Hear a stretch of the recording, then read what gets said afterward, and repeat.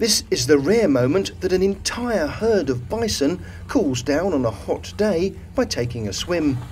The sight of the wild beasts swimming in the pond was captured in a video filmed at the Land Between the Lakes National Recreation Area in the US. It was created by President John F. Kennedy in 1963 and is located in both Kentucky and Tennessee between Lake Barkley and Kentucky Lake. It includes two huge dams that helped the lakes to be created and in 1991 was designated as a UNESCO Biosphere Reserve. The great footage of the bison on the recreation area was published with the following message. Sometimes you just have to take a dip in the water to cool off on these very hot summer days.